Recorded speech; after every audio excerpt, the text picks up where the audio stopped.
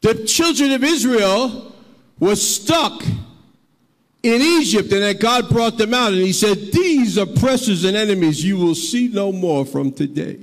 Lift your hands. I want to prophesy that whatever's troubled you, you need to get so filled with the Holy Ghost that that thing that stood in your way and in your pathway and kept you stuck cannot stand with you another hour. Amen.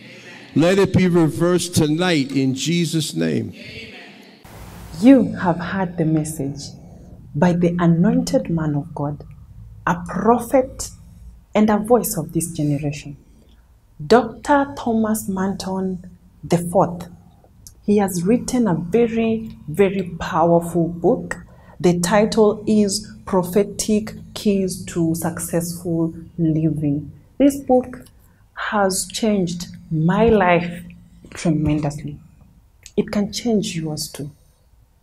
To get a copy, you can call or WhatsApp 0706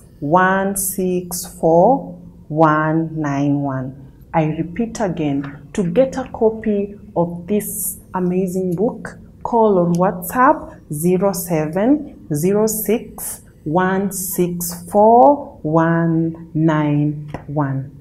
Thank you so much. God bless you.